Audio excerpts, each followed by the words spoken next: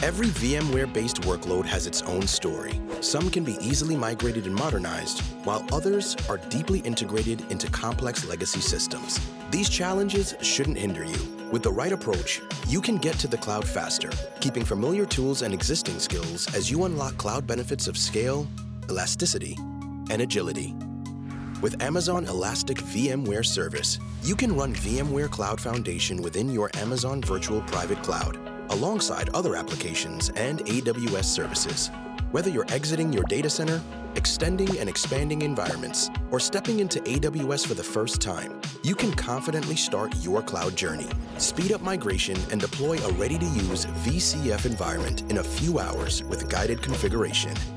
Retain control to build your virtualization stack in the cloud using familiar tools, storage, and disaster recovery solutions.